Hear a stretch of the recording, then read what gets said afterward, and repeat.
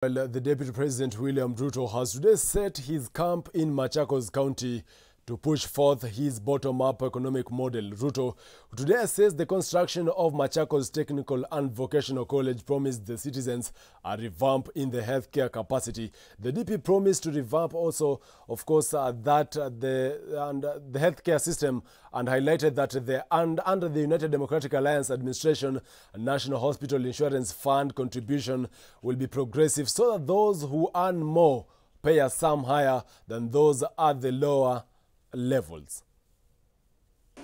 we will have a working public health insurance scheme that will make it possible for every Kenyan to pay their hospital bills. And we will remove the curse of poverty on Kenyans that is visited upon them by matters to do with medical bills.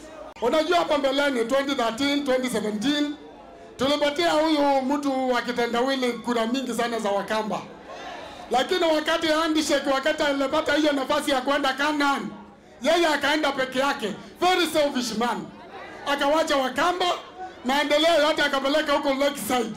Sisi tunasema kwa akina Kalonzo na timu ile ingine ya Oka, kama candidate wenu ni Raila, nyinyi mtaenda mfuate Raila peke yenu.